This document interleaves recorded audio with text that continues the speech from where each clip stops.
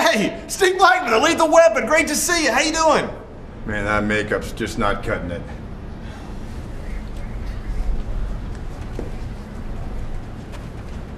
What has happened to this company?